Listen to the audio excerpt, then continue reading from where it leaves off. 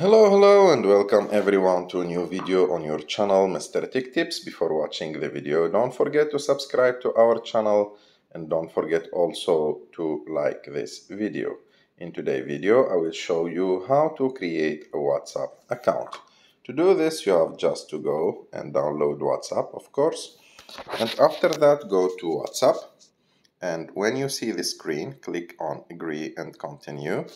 And here you should put your phone number, the phone number that you have, and after that click next.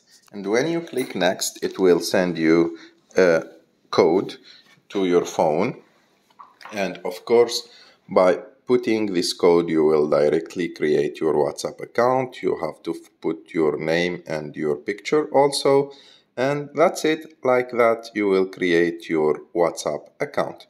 I hope that you like this video. If you like this video don't forget to subscribe to our channel to like this video and see you in the next one